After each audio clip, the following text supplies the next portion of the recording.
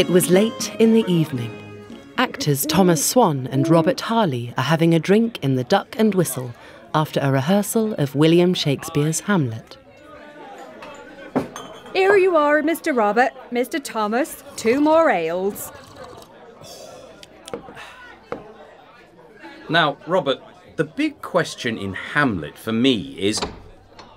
Oh, hello, Will. Good evening, Thomas. Robert?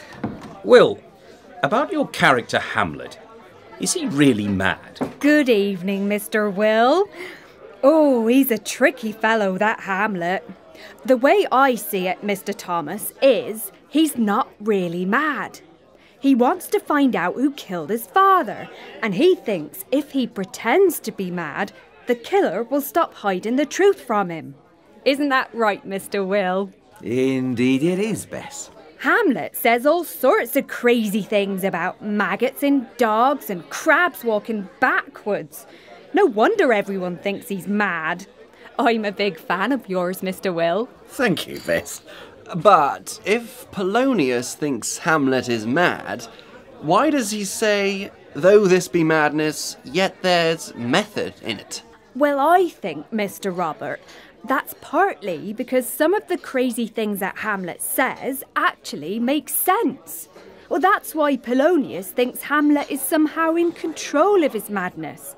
Because Hamlet says, For yourself, sir, should be as old as I am. For yourself, sir, should be as old as I am, if, like a crab, you could go backward. Though this be madness, yet there is method in it. That Polonius is an old fool. He doesn't know Hamlet's insulting him. I've seen all your plays, Mr. Will. I know you have, dear Bess. We'll leave them there for now. The name Hamlet is very similar to Hamnet, Shakespeare's son, who died at just 11 years old. It's possible that Shakespeare's grief influenced the outpouring of hopelessness and grief in Hamlet's speeches that follow the death of his father, the king. The modern version of the phrase, though this be madness, yet there is method in it, is simply, there's method in his madness, or her madness, or my madness. And it means there's a sensible reason for something that seems crazy.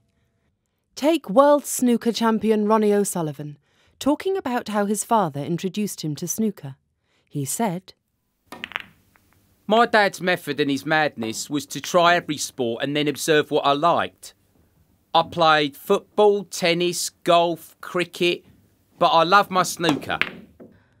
My mum's desk is covered in papers. There's method in her madness, though. She knows where everything is.